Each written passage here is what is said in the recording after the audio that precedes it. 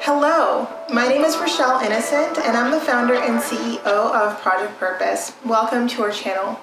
We are a community that centers around nourishing the intellectual and character development in children.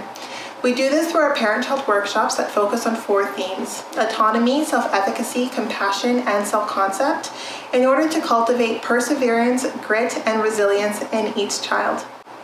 Project Purpose's overarching mandate is to renew and rebuild families, communities, and relationships. Our YouTube channel provides us a space in order to discuss and debate all topics that relate to families, communities, and relationships with yourselves as well as with others, with a primary focus on mental health and education. More precisely, the roles of mental health and all things related to the field of psychology, as well as education, have played a role and are currently playing a role in our societies at large. Our discussions and debates provide us an opportunity to think critically about what needs to change within the structures of mental health and education for us to live up to our bold slogan support, protect, and empower our children through youth focused development, otherwise known as leadership in juvenescence. We recognize that valuing our children's leadership potential also translates as recreating and co creating environments socially as well as politically in order for our children to thrive. Before getting into the video, uh, happy holidays, everyone. I mean, I only just loaded two videos and our holiday has come and gone. I hope that you had a wonderful time, however, you spent your holidays, and that you feel stuffed from whatever it is you served on your table. I decided to do something a little bit different with my hair because, you know, COVID won't get me down, and I hope that that goes for you as well. COVID or no COVID, the holidays is a wonderful time to, you know, take a step back, reflect, and think about how you want to approach this upcoming year. And I, for one, am very excited about the new year. I am a total new year. New Year's is my favorite vacation. I think Christmas and New Year's are my ultimate favorites, and I really do hope that you had an opportunity to just rest, reconnect, and reflect. As is the YouTube convention, please do subscribe, hit that post notification bell so that you're aware of every time we post. And if you like what we're saying and the content appeals to you, you want to keep that conversation going, like, comment, and share this video. Let's get into it. I am hands free. I don't have a mug to kind of discuss and break the ice with you today, but don't worry, I'll have a mug for the next video. Don't you worry about it. And I have three in total. So if you were wondering if I have a hoarding problem, I absolutely do not. Um, yeah, but I was thinking, you know, maybe you should relax with the mugs and keep the conversation going. So that's what I'm doing today. So hands free. So as I mentioned in the first few videos, the first two videos actually, is I wanted the first few videos that I create to be foundational. So really to cover my points of view on all aspects in relation to leadership development in children, mental health, education, and wellness in general, because our overarching mandate, as I mentioned earlier, is to renew and rebuild families, communities, and relationships. And today is a discussion on our modern day education system. Now, before jumping into the topic, I definitely did want to preface that these are my opinions, these are my personal points of view, and I'm here to have an engagement with you, to discuss with you on these specific points of view um, and get a sense of where you stand. Um, so as I mentioned in my first few videos, I am well informed. So if I'm gonna sit here and talk to you about my perspectives and my points of view, please know that I've done my research. So I'm not shooting from the hip here. I've done my research and I'm able to defend my points of view. If you're looking for sources and information, I'm most definitely very happy to share those with you. I think I think before I talk about education, I wanted to talk about us. I wanted to talk about individual people and you know the way that the education system has impacted us individually. So the first thing that I want to ask you is have you made it through the education system unscathed? I mean, that's a pretty broad question, but a lot of people who have gone through, especially in North America, the public school system primary, secondary school, undergraduate, or graduate, I mean, there's some emotional scars there. And I think that that is unfortunate because education, learning, I am someone who is a forever learner. I'm an academic at heart, and learning is a beautiful experience and a beautiful process. And I, I, want to just explain some of the shortfalls of our current education system and why that changes attitudes and values towards learning. Because I fundamentally believe that all of us are born with an innate love of learning, and that is changed and shifted because of the way that we approach education here in North America. And if you're from other parts of the world, please let me know if whether or not some of what I'm saying is resonating with you. I wanted to talk, I wanted to start off our discussion about education by first putting the spotlight on each of us as individuals. Um, so each of us as individuals has our own unique learning stamp, our own unique learning print. And this is a learning orientation, which is very different from a learning preference. All of us come pre-packaged with a way that we take in information from the world around us. So the seven that I want to talk about today are kinesthetic, auditory, visual, verbal, logical, social, and solitary. Now, with these seven, if we were to create three large buckets, we have a bucket for dominant, so what is you know what our natural inclination is then we have neutral and then we have limitation and you want to spread these learning types across these three buckets and the amount within each bucket is completely based on your personal experience within these specific styles. And i'll talk about the styles like in more detail if you're not quite sure what each of them sort of speak to. So when it's a dominant learning type so when you have things in your dominant learning type bucket this is how you naturally learn. So if you are in an environment that is teaching you with these these specific learning types sort of activated, you're not making a whole lot of effort. Like this is the way you naturally take in information. Where it's neutral, it's like, you know, you can do with it, you can do without it. It, it doesn't really help or hurt the way that you learn information. But if it's a limitation, you have to exercise a lot of mental and cognitive effort in order to retain that information. It, you're, you're working twice, sometimes thrice as hard in order to absorb that information being relayed to you if the learning environment is sort of exercising that curriculum within your learning limitation. Uh, now, I wanted to do the first two videos because I wanted to give you an opportunity to observe me. And in observing me, I'm hoping that you got a little bit of a sense of what my learning type is. If you took a guess that my primary learning type orientation is kinesthetic, you are right. My learning combination actually is kinesthetic, visual, verbal, and logical. I'm neutral by way of solitary and social, and my learning limitation is auditory. So I'm gonna break that down for you. The way that I wanna break this down is to give you an opportunity to get a sense of where you fit, how you would classify these seven across the three buckets. And kinesthetic, it's easy because I move a lot. Like when I'm talking, I'm moving, my body's moving with me. I mean, it's like I'm playing charades as I'm discussing with you. Um, and this is typically how a kinesthetic shows up in a learning environment. They're engaged. It's a very physical experience when they're learning, and sitting still is a very challenging task. And it's very easily to it's very easy to confuse a kinesthetic learner as being hyperactive, and that is absolutely not the case. It's just the way we take in information. I'm also visual, and how this translates is when I'm moving my hands, you see that I'm trying to paint pictures for you. It's like I'm, I'm really trying to draw out with my body movements the things that my words are relaying. Another way that a visual learning type sort of shows up in a learning environment is my notes. My notes are color coordinated. There's it's very appealing to the eye and it gives me an opportunity to distinguish different types of information and the way that I want them categorized and classified as I retain that information.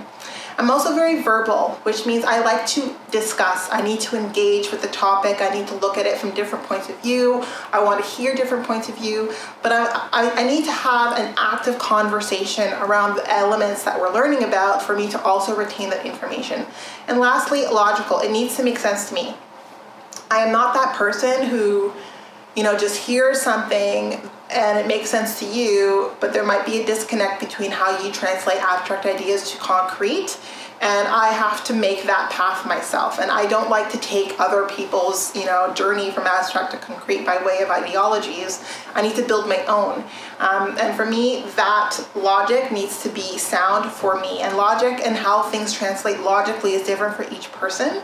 But you'll find if you're if you're in a learning environment with me, all of these show up. You'll find that the way that I engage with the teacher, the way I engage with the class, you'll see that I'm engaging with all four of my dominant learning styles. Um, by way of social or solitary, I'm someone who is very comfortable self-learning. I can sit quietly and take in the information and if you're watching it might be a little bit funny for you, but as I'm like taking in ideas, I might still do a little song and dance for myself. Um, but I am solitary or social, so I don't need to have a social setting or I don't need to be alone to learn. I'm, I'm fairly neutral on both those fronts. But where my limitations are is auditory. If I am just sitting and I have to be quiet and you don't have any visual aids and you're just speaking, I guarantee you I'm not retaining not even 5% of what you're saying. This is my learning limitation. And in fact, even if there's visual and auditory, so let's say there are some visual aids, but they're not very appealing and you're just doing like 80% of the talking, I'm still gonna have a bit of a hard time taking in that information. And with time and with maturity, I've learned to self-regulate. I know how to orient myself so that I'm still maximizing the most that I get out of each class that I'm investing my time and energy into. But as a child, the self-regulation process it, it's not built in yet. It's something that sort of gradually takes place, um, you know, as maturation occurs. But let's say as you build those buckets, you recognize that your learning orientation is truly not aligned to the way the curriculum in modern day education itself is sort of organized, then, you know, you need to take a couple steps back. So we are all a combination of these seven. And when you have a moment, I, I, invite you to write the three buckets, so dominant, neutral, and limitation, and get a sense of where these all fit. And there's no magical number of how many fit in dominant, or how many fit in neutral, or how many fit in limitation. But you want to be mindful about which ones fit in limitation, and then think about our traditional schooling system and how well they cater to you know the majority of the learning types that are in this limitation. And we're going to talk about the way that they address these learning types and the way that these students and our children are classified and are labeled if they are not part of the dominant learning type which we're going to talk about in just a second. So traditional public and private schools do not build their education schema to go across all seven of these learning types in fact, they only cater to three. So the majority of curriculum, 85%, and I'm being conservative, caters to auditory, visual, social learning types. So if you are kinesthetic, verbal, logical, and solitary, the modern day education system was really not built for you to fit. It wasn't built for you. Um, and in, in, fact, you know, maybe you get crumbs. The last I heard physical education was on the chopping block. I'm not sure how many school boards were able to preserve that. But this is something that requires further discussion because of the way that they support the children who do not align by way of their learning types to the school curriculum and the school programming. Let me talk a little bit more deeply about this. And with, with modern day schooling and the teacher student ratio, there is not enough hours in the day for them to delve deeply into the topic areas. For those children who are verbal, who need to discuss, who need to have engagement, who are logical, who need to build a bridge between abstract and concrete before they've been able to successfully retain information. The teachers don't have time to give every child an opportunity for that deep level of engagement. It's just not feasible.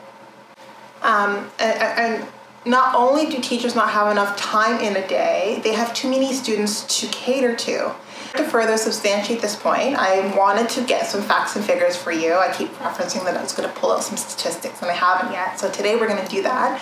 So I looked at the Organization for Economic Cooperation and Development to get a sense of what Canada's teacher to student ratio is. So the last reporting metric was 20 years ago. So they haven't actually participated in the study for 20 years. And 20 years ago, it was 17 to 1. Now we all know from experience there are definitely more than 17 students to every one teacher. So I did some more digging and I looked at Stats Canada and their last study was done from 2010 to 2011 and that ratio was 13 to 1 which is a bit there's a little bit of skepticism that i have with that number so if any of you have the actual number i would love for you to comment it down below because that number really brings to light why one of the reasons why our public school system doesn't have the capacity to cater to different learning types objectively speaking so this is without me critiquing them it's like if you have that many students i can't expect that you have the ability to have full engagement across all learning types with that many students. I believe, just based on conversations I have with my, my friends who have children, that the ratio is as high as 33 to 1 in our public school systems. So 33 students to one teacher, which is a, a, a crazy high number. Um, and that still is not where my real criticism lies. My real criticism lies in the way that school boards and teachers classify and handle children who do not satisfy the dominant learning type. Uh, which is this, the social, auditory, and visual learning type. So programs are built for this. There's visual aids, there's lots of talking, and there's lots of socialization. But if your child is one of the other four types, if they're kinesthetic, which means they need a lot of movement. If they're verbal, they need to speak in order for them and like engage and have debates in order for them to fully retain the information. If they're logical, if they need to build a bridge between an abstract idea to something that's concrete. Um, and if they're solitary, if they prefer to learn in a quiet environment on their own, then the school program does not is not built to satisfy their learning needs, which is a problem, but that's okay. What is not okay is that instead of the school board saying, hey, listen, this is the way our curriculum is built, this is the way we see that your child is oriented to learn, we don't necessarily have the resources or the capacity to teach your child the way that they will be engaged and need to learn. They tell you that there's something wrong with your child.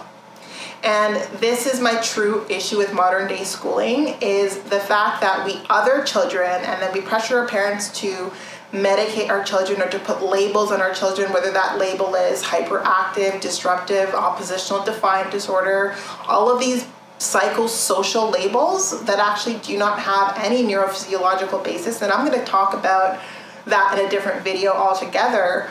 Um, but these children are not being satisfied by way of the way that they need to learn. They haven't yet learned how to self-regulate. So these children are still in the process of learning how to manage and monitor their own behavior. But then teachers are pressuring and recommending that parents medicate them. And that's only because their learning types are not satisfied by their curriculum. But rather than say that there's a deficiency with the curriculum, they're saying that there's a problem with your children. And that for me is hugely problematic that is my biggest pain point with the education system is to have parents believing and have their children believing that there's something wrong with them because they don't meet the status quo. On the flip side, for those children who are auditory, visual, and social, and who are excelling in school because it aligns with their learning type, these children sometimes they're elevated they're told that they're gifted when actually they're not gifted. They're just gifted to work well within that specific program. And now there's this extra onus of performance and superiority that is placed on them and in their schema which is going to get blurred out because as children adapt, as they learn, as, so long as they're not monitored as being learning, learning disabled and not medicated, there is um, a sort of leveling out that takes place with maturation. But then these children have this sense of superiority that is most of the time, statistically speaking, completely fictitious. So when they get to undergrad, then they recognize, well, there's nothing really special about me. Um, and that's an issue because now you have children who, you know, the school program is built for them and they've excelled, but they still have insecurities as a result of the programming. And then the school, you know, there's children, the school programming was not built with them. They have now a very negative um, experience with learning and education. They're very insecure about their ability to learn. They've been told that there's something wrong with the way that they learn. And a lot of children, have, a lot of those children have become adults who carry the label of learning disabled and they absolutely are not learning disabled. And this issue of putting the onus on the children, putting the blame on the children for not being able to learn when you haven't provided the programming within their learning type is grossly problematic and it's a, it's a it's a practice that needs to absolutely stop. We need to stop doing this and we need to stop allowing teachers to pressure us and, and experts to pressure us to medicate our children who are in you know massive stages of development where you do not want to touch the neurochemistry and then we're medicating them because they're disruptive when really maybe they just need to move because they're kinesthetic. My being kinesthetic, if you told me not to do something, I most likely was just not going to listen to you. I was going to do it. Uh, and I needed to do it to learn why I shouldn't do it. If you showed me, you know, if you told me and then you demonstrated why I shouldn't do it, and, you know, you did a little bit of a charade game, then I'm like, oh, okay, I understand, you know, I shouldn't do that. Uh, but most children who are kinesthetic, especially who need to be moving and who haven't learned how to self-regulate, are are are doubly, if not triply, penalized within the schooling system.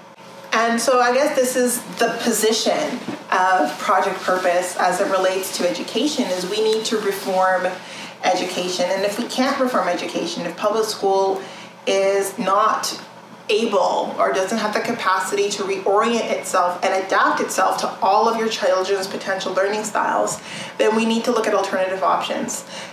And for me, I don't have a preference, whether it's wild schooling, unschooling, homeschooling, whatever the case may be, so long as the schooling in and of itself is adapting to the way your child likes to learn, or the way your child wants to learn, so that our children aren't damaged by the way that we're educating them. I think that that's a great place to be. And I think learning is something that every child loves to do. Every child is born a sponge, wanting to take in information and and hurting their relationship with learning is the biggest crime that we've done within North America and the way that compulsory education has evolved. I think that learning becoming this chore, becoming very painful for children is, is hugely problematic, and that's something that we as community members, as parents, as educators, need to start recognizing there needs to be some sort of change. So, I guess all of that to say, my view on modern day education is that it is completely outdated.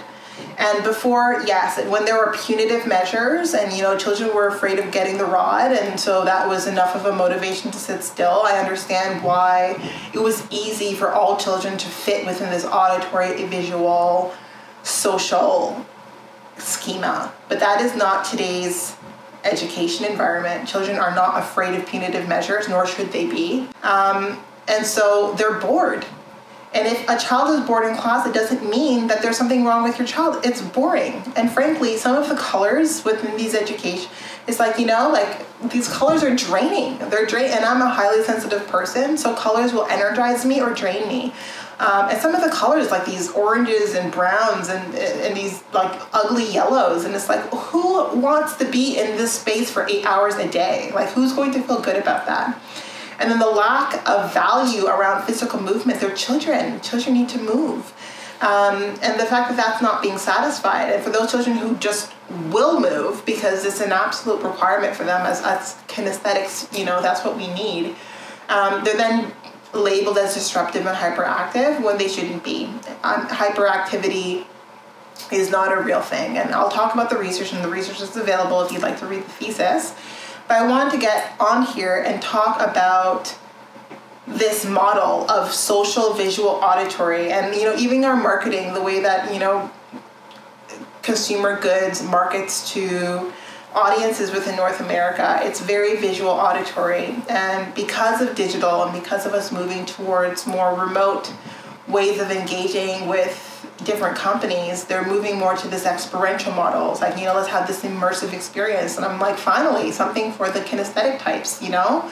Um, but it's a little too late because we have a lot of people who have very broken relationships with learning. And when I meet someone who doesn't have a healthy relationship with learning, I know that that was nurture. I know that that was because of the environment that they were put in that broke their relationship with learning because everyone is born wanting to learn, wanting to develop, and they do it their own way, you know. And school says you need to do it this way or there's something wrong with you, and that's absolutely false. And that's that's a false concept. That's a false belief that we need to break out of. The future generation of children should have access to schooling that adapts to their learning style.